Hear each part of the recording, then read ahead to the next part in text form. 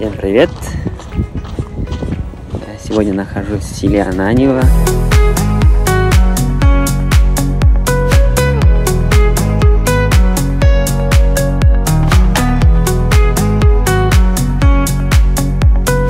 Это место, где я вырос. Улица Гагарина, вон там. Э, горы, видите, немножко гора сломанная, называется обвалина. Вон там сейчас пока облаками закрыто. Очень похож на вулкан. Называется шишка. Вот. Интересное место. Здесь прошло мое детство. Здесь учился в школе, ходил в садик. Так, это школа, в котором я учился. После окончания школы прошло 20 лет уже. Представляете, 20 лет. Школа имени Лященко. Вот главный вход. Здесь спортзал. Изначально школа носила имя Исадридина Айни. И только с 2001 года школа носит имя героя Советского Союза, генерала армии Лященко. Школа обильно окружена зелеными насаждениями. Особенная красота здесь появляется весной, когда после зимней спячки просыпается земля, начинает зеленеть трава, деревья, ну просто загляденье.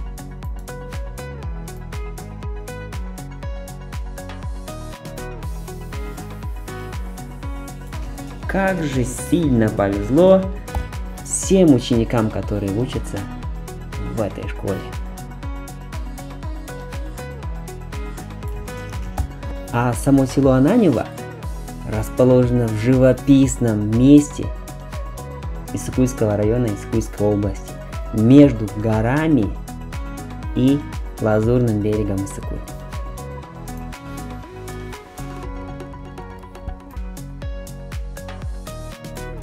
В верхних районах села Ананева расположены небольшие поселения, такие как Каралдыбе, Четбайсорун и Көкдөбе.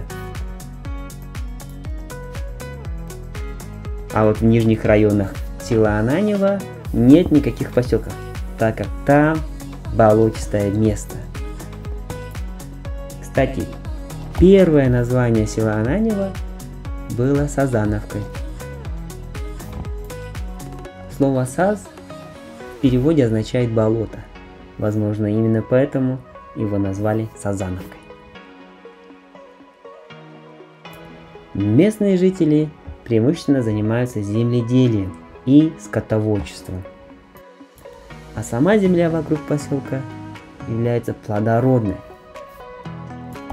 И жители здесь выращивают пшеницу, ячмень, картошку, лук, чеснок и так далее. Также в последние годы активно развивается выращивание ягод.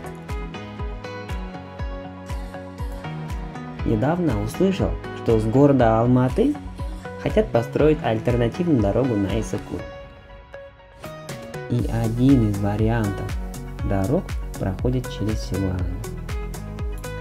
В настоящий момент уже есть альтернативная дорога, которая идет через ущелье Каркара. Но она очень длинная.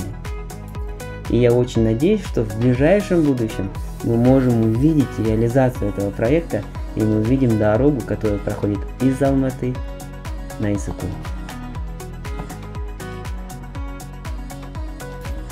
Вот такая небольшая история о селе, где я вырос, где я провел детство. Спасибо за внимание.